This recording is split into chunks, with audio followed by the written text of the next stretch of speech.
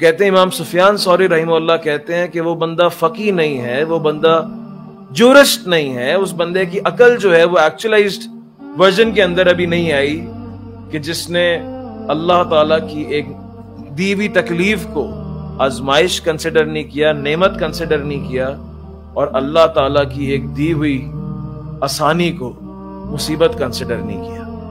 अल्लाह ताला ने जो आपको दिया है जो भी आपके पास आज नेमत है, गाड़ी है, बंगला है, रिश्ता है सोर्सेज हैं, फला का बेटा हूँ और फला मेरे मामू हैं और फला मेरे खालू हैं, होंगे सबके?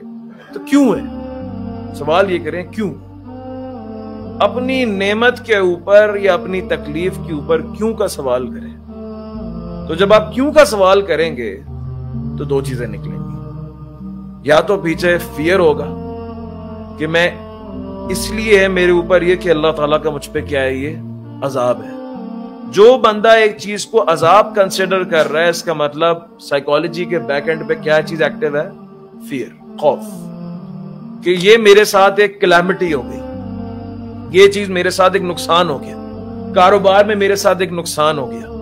या फिर मेरी जॉब छिन गई। या फिर जब मैं स्टार्ट करता हूँ कोविड आ जाता है। या फिर रिश्ता नहीं चल पा या फिर बेटियों का घर खराब हो रहा है। बेटों का घर खराब हो रहा है। तो पहली चीज़ और कोई भी चीज़ खराब हो रही है, ये अल्लाह ताला की नेमत है, ये अल्लाह ताला के का तुम्हारे ऊपर अजाब है।